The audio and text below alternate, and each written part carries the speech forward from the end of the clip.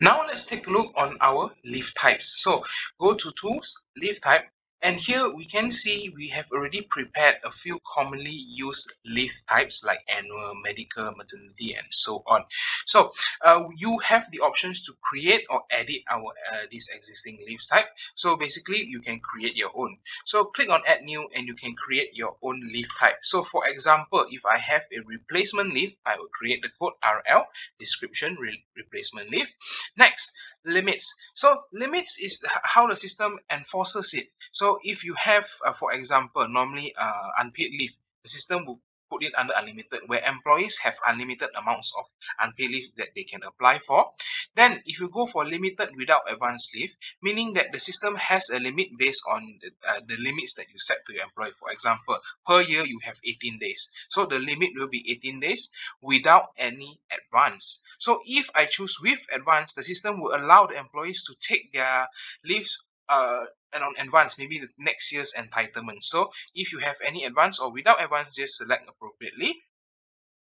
Leave entitlement calculation here. So here we do have a few ways of calculating your leave. So basically what we can have is uh, yearly entitlement, earn leave basis or advance earn leave. So basically it means that uh, you have the leave where employees join your company, they have the whole year of entitlement already available.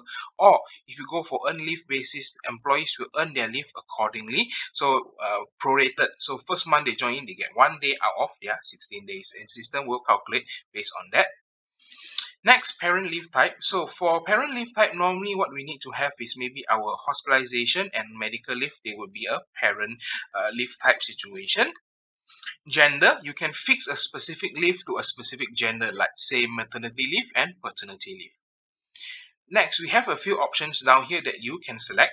So first is unpaid. So if the leave is an unpaid type where employees apply this leave, the system can automatically calculate how much to be deducted from their payroll. You select this. Encashment leave for you guys out there who has uh, the option for employees who do not clear their leave that they can uh, convert it to cash value at the end of the year.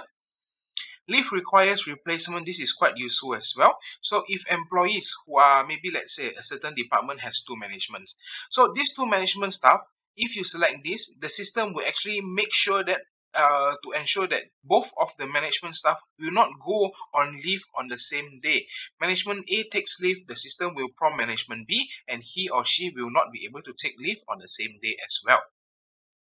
And finally, attachment is required. So if you select this, the system will prompt the employees to submit an attachment uh, before applying for this leave. So this can be useful for medical leaves when employees want to take the leave, the system asks for an attachment so that they can uh, submit their MC as approved.